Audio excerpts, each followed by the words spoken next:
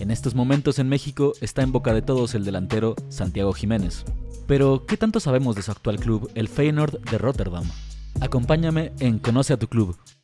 El Feyenoord es un equipo que compite en la primera división de los Países Bajos conocida como Eredivisie.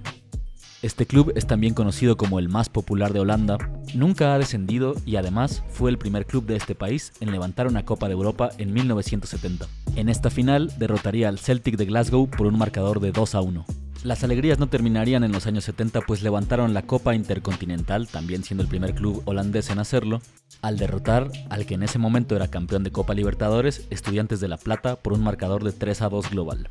A su estadio, el Feyenoord Stadion, se le conoce como La Bañera y tiene una capacidad para unos 50.000 espectadores.